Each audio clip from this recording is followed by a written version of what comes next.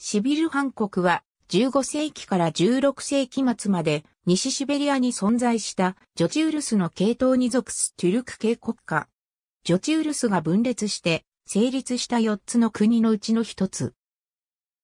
シビル・ハン国の名はチンギスカンの長男、ジョチの第五獅子番の一族シャイバーニー家に由来する。シベリアの地域名はシビル・ハン国の名に由来する。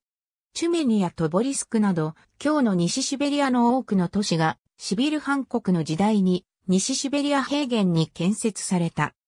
1440年代に、ジョチウルスが分裂して、トラ川川口のチンギトラを根拠地としたケレート部族の大部下が、同地に政権を樹立したことに始まる。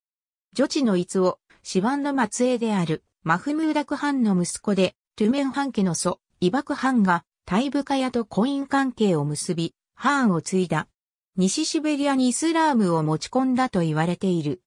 イルティシ川沿いのカシリクを首都とし、オビ川、イルティシ川とその支流の流域を支配し、クロテンなどの毛皮の取引を営んだ。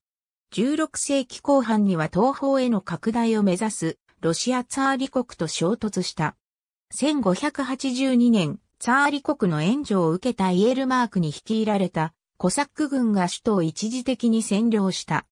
その後も最後の君主クチムハンが抵抗を続け、1585年8月5日または6日、奇襲攻撃によりコサック軍を壊滅させ、イエルマークを戦死させた。しかし、ロシアの攻撃は続き、1598年に国は滅亡した。